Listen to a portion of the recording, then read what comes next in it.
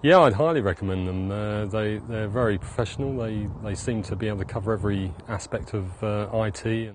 The office is, is, is fantastic and and the response time is very very good.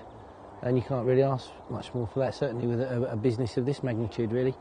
I must be honest, he has been fantastic. I'm not actually lying. He has been good. I mean, he's been out to us, you know, we've had a lot of computer problems and he's been out within the hour. Oh, yeah, we had some problems with uh, uh, viruses on, uh, on our system, which uh, obviously caused a major problem for our business.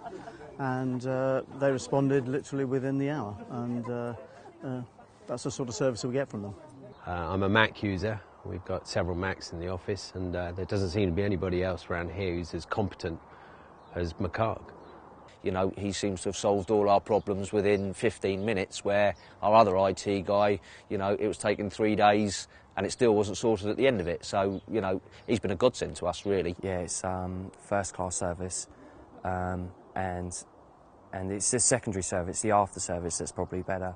Is that you can always call him and he's always going to come out. Yeah, I know a lot of IT consultants, but um, you know, I find that Jonathan's uh, awareness of what people's needs are and how to deliver the services to meet those needs exceeds uh, those of most other IT consultants I know. I, I would just recommend that you, you, you, you call them, uh, certainly speak to Jonathan or to Christine, and I'm sure the service you'll get will be uh, uh excellent. You get a lot of people with contracts and call out times, but he's there basically 24 7 for us, and uh, it's very, very uh, valuable service. Oh, just because obviously he gets results really quickly. That's uh, the easiest way of saying it. I'd say it was personal, friendly, and efficient. I wouldn't have a problem of recommending to anybody.